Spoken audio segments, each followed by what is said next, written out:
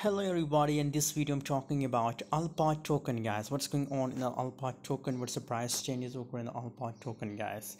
Recently guys the price is continuously dumping very badly and all market crash very badly guys. So a lot of people asking that what should we do in a right now situation? What's the next scenario for Alpha token guys? Currently guys if you do a simply technical analysis for Alpha token so here again again uh, you can see here now the trend is upward situation guys. As you can see here trend is upward situation. But if we look here so now again the trend is going to downward guys. As you can see here because it's not making higher high guys. It's not making higher high.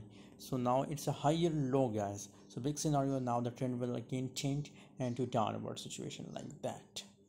Like that so obviously we have to wait, uh, wait for this breakdown guys. If it make a breakdown with this support trend line so in that case uh, we can open short position in alpha token guys. By the way for more update for more details about alpha token i recommend to all of you to join my telegram group. Link is available in video description. Check the description and join telegram for free